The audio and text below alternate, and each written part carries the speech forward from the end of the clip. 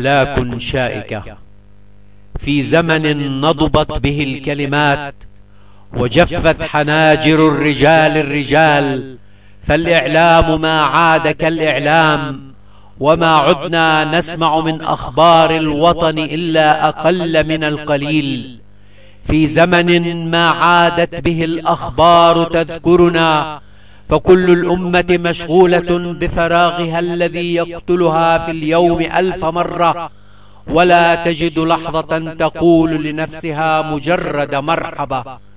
في زمن الموت والغضب يأتي الفطر ونحن على حالنا من غربة الافتراق والشوق يغالبنا والنفس يملأها الحنين.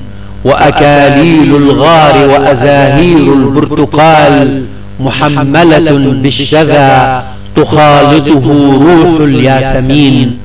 نرسلها لكل شبل وطفل وشيخ وشاب لكل بيت ونبتة حتى والحجر لكل المتعبين مصارعي الموت والدجر.